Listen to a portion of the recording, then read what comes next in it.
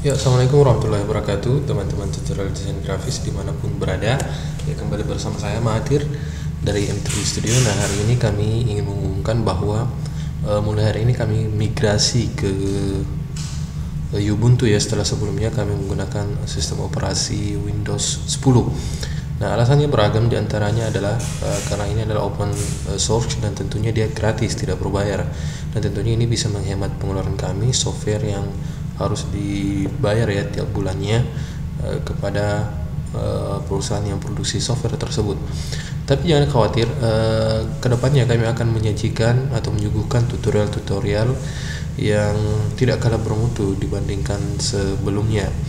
Nah, cuman kami tentunya akan menggunakan software yang berbeda. dan terlebih ini software yang kami suguhkan nantinya insya Allah dia akan uh, gratis ya dan tidak kalah powerful dibandingkan dengan uh, software sebelumnya. Baik sebut saja yang pertama kami akan uh, kita akan pelajari sama-sama adalah uh, Inkscape ya. Inkscape ini dia adalah software pengolah vektor mirip dengan Corel Draw, juga mirip-mirip dengan Adobe Illustrator.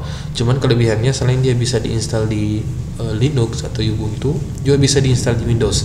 Jadi teman-teman yang mengikuti tutorial dari channel kami bisa menginstal Inkscape ini di uh, komputer teman masing-masing. Nah ini untuk mengganti Corel Draw. Adapun software yang lain itu ada GIMP Image Editor. Nah GIMP Image Editor ini dia adalah software uh, pengolah bitmap ya. Jadi kalau di Windows dia mirip-mirip dengan uh, Adobe Photoshop. Ya Adobe Photoshop. Nah teman-teman kita akan pakai ini sebagai pengganti dari apa uh, Adobe Photoshop Nah baik teman-teman, uh, selain dua software ini untuk uh, desain grafis, kami juga akan uh, kita juga akan belajar ya sama-sama tentang uh, bagaimana menggunakan software yang gratis tapi juga uh, powerful. Uh, sebut saja di antaranya adalah ini Blender ya. Nah Blender dia adalah bisa dikatakan dia software serba bisa. Jadi sini kita akan belajar bagaimana membuat uh, objek di Blender membuat uh, animasi, uh, membuat bahkan hingga desain arsitektural di Blender ini, mulai dari interior sampai eksteriornya. Nah, berikutnya uh, selain software ini kita juga akan belajar uh, Natron ya. Natron ini kalau di Windows dia mirip-mirip dengan uh, apa? Uh, how to say mirip-mirip dengan Adobe After Effects. Nah, Adobe After Effects di alternatif alternatif di Ubuntu ternyata ada ini ya, Natron. Cuman di sistemnya agak berbeda karena dia memakai Node beda dengan uh, di di mana? Di After Effects. Nah dia mirip-mirip uh, sistemnya dengan Blender ini. Nah uh, dan tidak kalah krusial juga kami kita akan belajar sama-sama bagaimana membuat aplikasi Android Studio. Jadi setelah kita belajar bagaimana menggunakan software tutorial desain grafis tentunya kita akan uh, ujungnya nanti insya Allah kita akan belajar membuat aplikasi di Android Studio. Jadi nanti kita bisa upload ke Play Store, lalu uh, kita uh, bagikan kepada teman-teman yang lain. Jadi mungkin ada beberapa uh, aplikasi yang kita akan buat nanti. Cuman uh, yang menjadi pelajaran kita pertama di sini sama-sama yaitu uh, tentunya adalah tutorial graf, tutorial uh, desain grafis. Kenapa? Karena uh, setelah kita bisa di desain grafis maka kita bisa tampilkan di layout Android Studio. Nah, baik teman-teman, mungkin itu saja ya untuk uh, pertama.